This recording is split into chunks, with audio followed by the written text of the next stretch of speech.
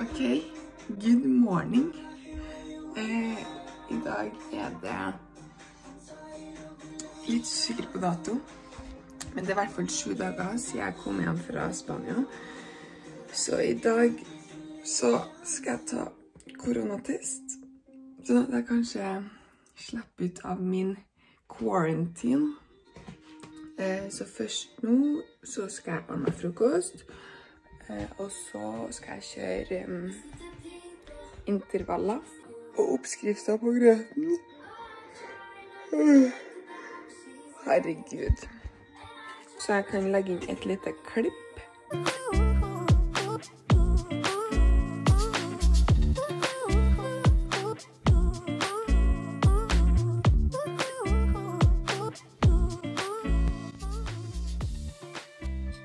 Ok, nå er det ikke en liten krise her.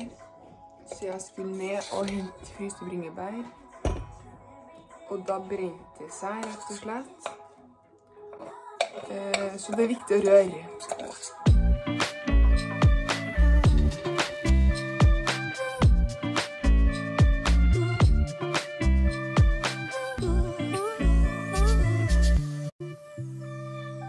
Ok, da er frokosten serverad. Da outfiten på.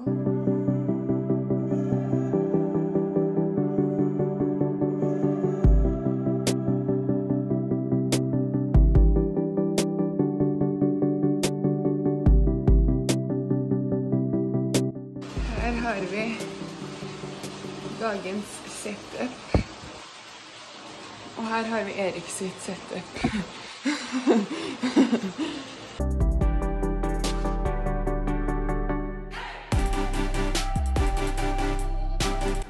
Ok, da er jeg ferdig med intervallene. Så nå tenkte jeg å kjøre 20 minutter med basis. Det er bare å sette i gang.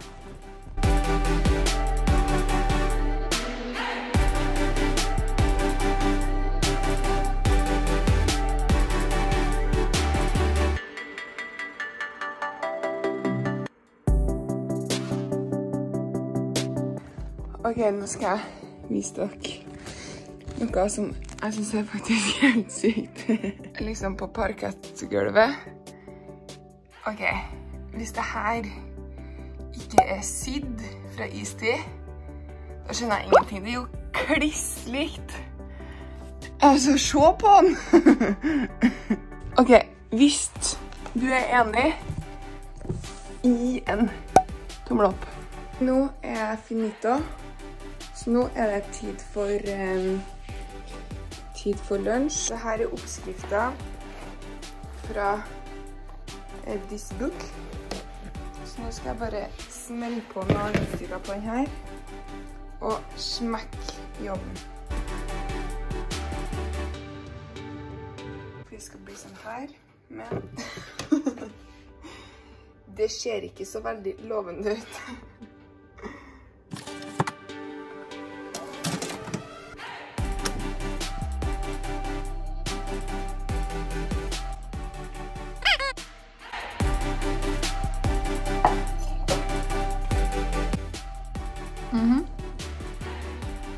Very good. Ok, nå turer vi. Nå er jeg rett og slett på tur til å ta koronatest. Um, og det er ikke bra å filme mens jeg kjører bil, så vi snakkes når jeg er frem. Ha det! Da er jeg redo.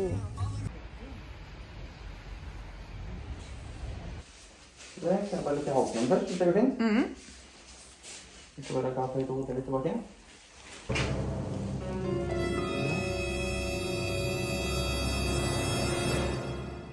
Helt avslapp av ansiktet. Kjempebra. Og tre, to, Da, ferdig?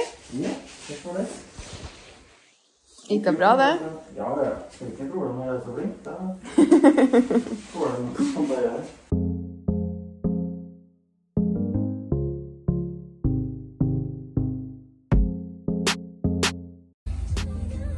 Der, ja. Kjøre på. Hvilken akselerasjon!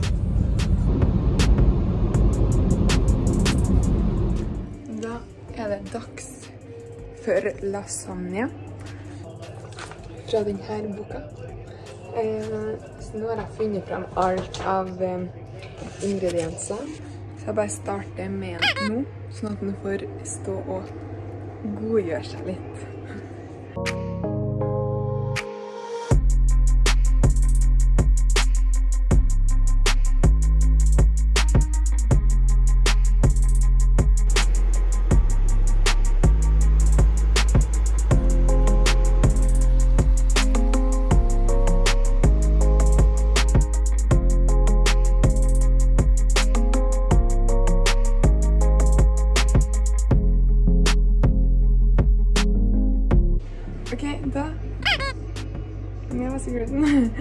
Da er lasagnen i ovnen. Se her.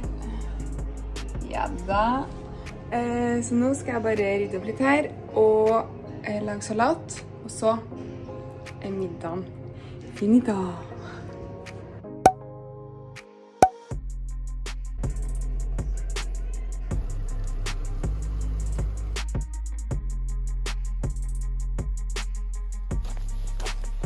Da skal jeg på butikken. Eller det vil si, Erik skal Jeg skal kjøre, for jeg er i karantene. Så jeg får ut. Ja. Så nå sitter jeg nå og venter, da. 99 sikkert at det kommer ut med en eh, godteripose her. Så det er bare å vente i spenning, folkens. Ikke sant, ja. Her har vi Halv kilo. Nei, jeg var ikke den gode. Der! Det her. Den har best. Da er det dags for nettet. Hvis du mm, har liksom fått med helt fint, grattis. Vi snakkes. Ha det bra.